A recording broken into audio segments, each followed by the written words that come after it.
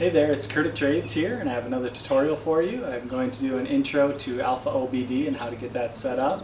And I'm also going to show you how to activate your trailer lights for your Jeep Grand Cherokee. Uh, WK2 is the uh, model designation.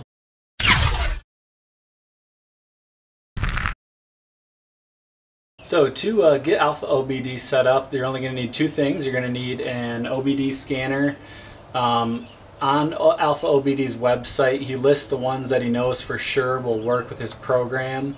Uh, I believe the ones he recommends are the um, OBD Link series. So the OBD Link, this is the LX.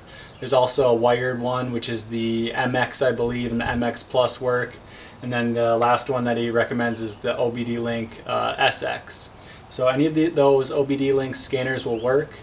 Um, I've heard rumors of other ones working as long as they're ELM 327 um, compatible ones. Um, and there's a lot of different ones out there on eBay and on Amazon, um, but they're not guaranteed to work. Um, I've heard most of them do work as long as they're ELM 327 compatible, and I think it's version 1.3 um, or, or greater. The other thing you're going to need is the AlfaOBD program.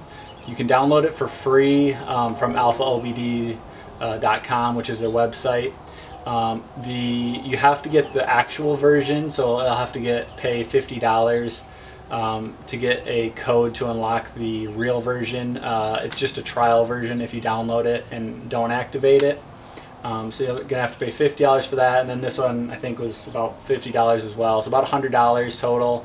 And um, I recommend just getting the stuff to do it yourself because if you have the dealer program, the trailer lights to work, uh, it, it, can cost anywhere from 70 to 150 dollars to get the dealer to do it.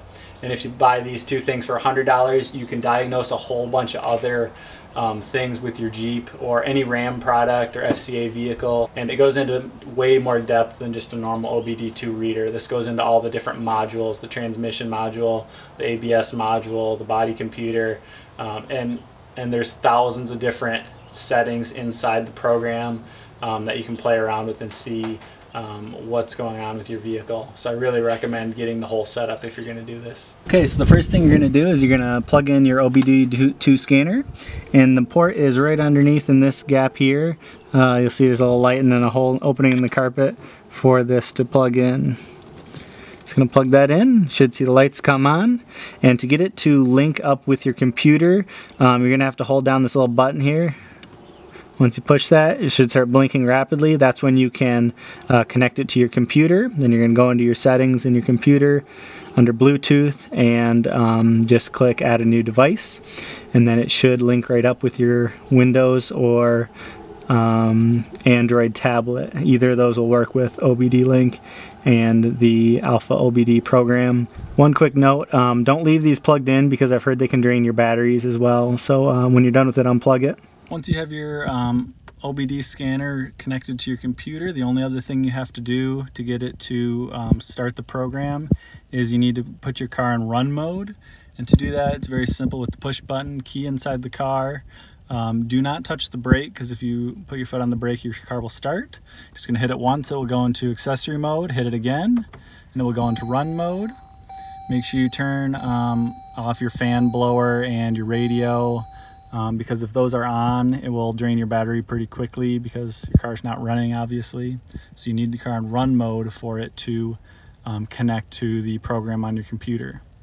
Okay, so now once you have your car connected with your OBD scanner, you're going to go into OBD Link and you're going to make sure that you have the correct car in here, Jeep Grand Cherokee um, and you want to connect to the body computer, then you're going to, depending on which year your car is, you're either going to do 11 to 13, 14 to 17, or 17 to 18.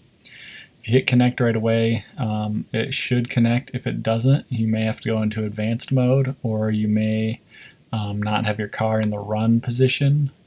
Um, so go to the advanced mode, and then in advanced mode, uh, make sure the interface is for the correct um, OBD scanner you have, and you may need to switch which COM port it is. Um, so I'm using the USB OBD link, so I'm selecting that. And um, try both the different COM ports there as well. And again, make sure the body computer is selected above, and for the where it says modification, make sure that's the correct car as well. and then it should connect there for you. If it doesn't, you should you probably have something wrong, one of the settings, or you are not um, connected to your scanner. Um, once you get it connected, you're going to go to Active Diagnostics. Under the drop down here, you're going to go all the way down to the bottom, and you're going to select the the car configuration change at the bottom. So you're going to select that. Um, and down at the bottom here, there are a lot of options that you can set. Do not just play around in here either because there are a lot of things that can't be undone because they work for other vehicles and not just your Jeep. Um, so don't just willy-nilly um, change settings and you, there's no revert back to original settings. Um, what you're looking for under here is CBC config trailer backup lamps.